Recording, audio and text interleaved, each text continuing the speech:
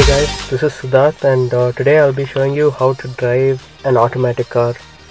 So um, the car I'm going to be using today is the 2013 Honda Civic 1.8 VTEC and um, as you can see it has an automatic gearbox. So um, first let me start by explaining what these letters on the gearbox stand for. So P stands for park um, so you use it when you're at a standstill or you know when you want to park your car basically. And the R is for reverse so that's when you want to move backwards. The N is for neutral so neutral basically lets the, the car won't be in gear so you can move it you know back or forward um, by pushing it or like uh, tow your car or something like that. And then drive is um, what you use to move in front so um, and then below drive there is the S which stands for sports mode. In some cars uh, this could also be an L which stands for lower gear. So basically in sports mode the car holds on to um, higher revs. Okay so to start the car what you want to do is um, up, uh, put your right leg on the brake. So you need to do this to shift gears. So only when you put your right leg on the brake um, you can move this gearbox so I have my right leg on the brake and I'm going to put the car into park. So make sure it's in park. So once that's done you just have to turn the key.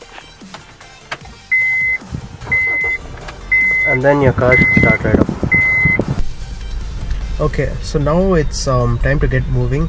So as you can see there are only two pedals here and there's no clutch. There's just a dead pedal here. So you want to uh, rest your left leg on the dead pedal and you'll be using only your right leg for both the brake and the accelerator. So first um, push down the brake so that you can move the gear selector.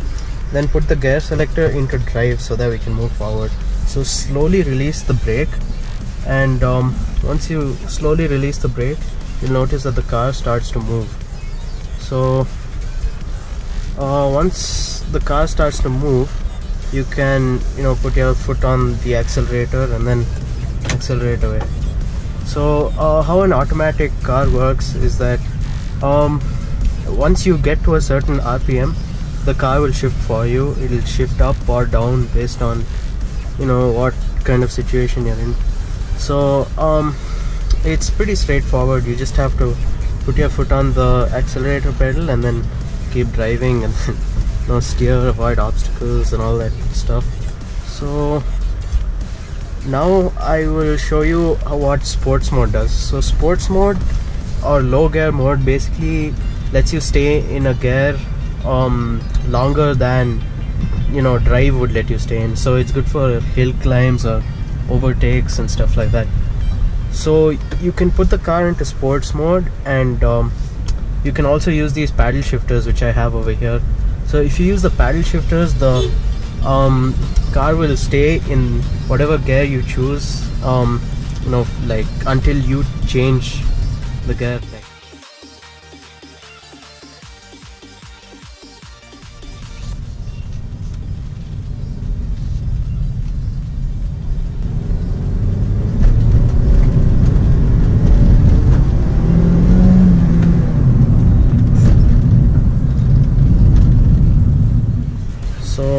that was it for this video guys.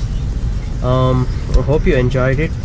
And if you want to see similar videos please hit the like button subscribe to my channel and also comment to let me know how to improve my videos. Thanks for watching guys. I'll see you guys in the next one